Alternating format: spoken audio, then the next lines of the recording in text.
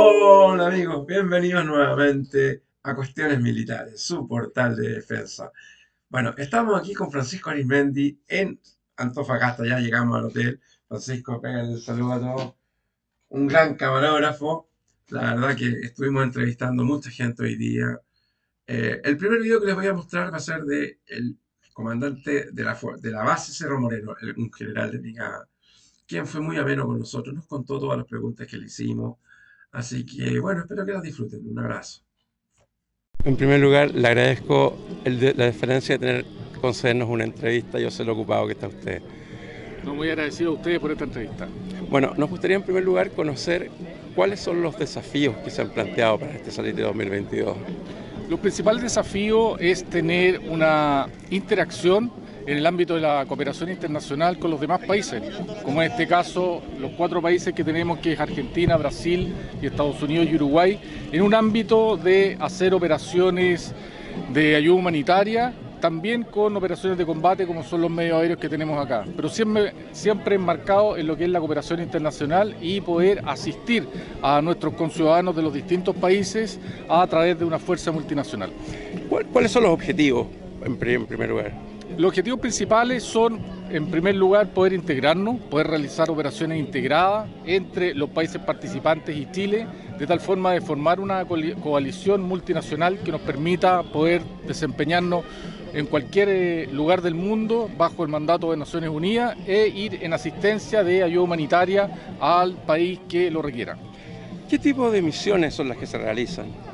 Hacemos misiones de combate, hacemos misiones de apoyo al combate, empleando los medios que están acá de combate, como también el avión KC-390 argentino, el avión C-130 nuestro de Chile y también el avión Sentry que opera desde Santiago, como también nuestro reabastecedor de combustible, el KC-135.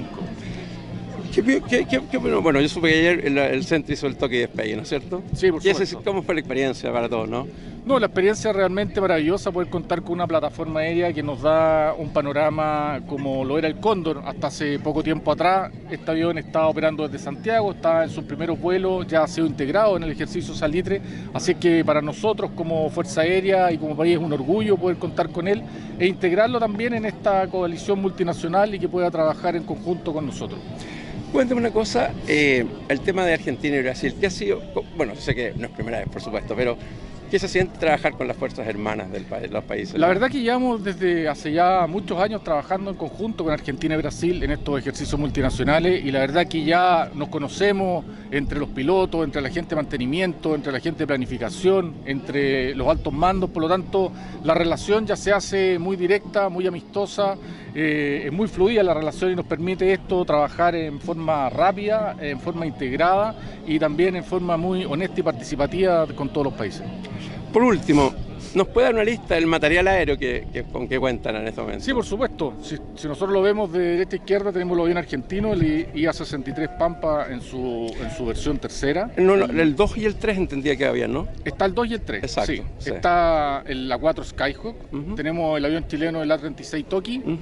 Eh, el avión de enlace, el Cirrus, Cirrus, Cirrus U-22, nuestro MLU. espectacular MLU F-16. El, el, Block 50 no está, está en Iquique, ¿no El Block 50 no está, pero con este avión la verdad que las características son similares para que nuestro público lo pueda ver. También contamos con nuestro helicóptero MH-60 Blackhawk. F5 argentino, el brasilero. corrijo, brasilero, y también el KC-390 de abastecimiento y transporte estratégico brasileño. Y por supuesto, la bebé de aquí para los niños principalmente, nuestro helicóptero Bell 412 que es multitarea para todo, principalmente lo que es ayuda humanitaria y participado en todas las lamentables Los tanqueros no están, ¿no? Los tanqueros no están acá, están operando tanto desde Santiago como desde Iquique. Eh, el operar con aproximadamente 40 aviones acá en la base, más el tráfico comercial que ustedes ven que es bastante eh, intenso, no nos permite operar con más aviones grandes porque finalmente nos produciría un problema. Por lo tanto, ocupamos de agregar los medios en nuestro espacio, en nuestro territorio nacional y poder también hacer sincronía desde distintas bases, como es Santiago e Iquique. Ahora, en el ejercicio de salite se van a hacer ejercicios de, reprovisionamiento en vuelo en el aire. De hecho, ya lo, lo, haciendo. están haciendo, ¿no? lo, que va a hacer lo hacen adentro en el Sí, lo hacemos en, las horas de vuelo en el, en el desierto y eh, ahí se busca la integración con los países y también con los medios operando desde otras bases. ¿A los argentinos también le convían combustible? No, porque no, no- ellos usan los Hércules, ¿no es cierto? No, porque ellos usan otro tipo de tanquero. Exacto. Por eso eh, cada uno tiene su No trajeron su tanquero los No argentinos. trajeron su tanquero ellos. sí, solamente por Brasil y Chile podemos Así es. Así Bueno, es. mi general, le quedo muy agradecido por su paciencia, por No, responder muchas gracias a usted. Ha Muchas gracias a un usted por la entrevista. Espero que disfruten esta muestra, este Open Day, que para nosotros es mostrarnos a la ciudadanía antofagastina, a nuestras familias, a los niños, a los jóvenes que se interesen por el mundo de la aviación y que en un futuro también puedan ser parte de nuestra querida Fuerza Aérea y también, ¿por qué no?, participar de estos ejercicios multinacionales. Bueno, entiendo que usted es el comandante de la base, ¿no? Así es. Bueno, yo le cuento, yo soy piloto de aviones, también piloto de helicóptero y piloto de drones, así que también algo entiendo de aviones. Los felicito. Bueno, Un gusto. un gusto igualmente, Un gusto. Muchas gracias. igualmente.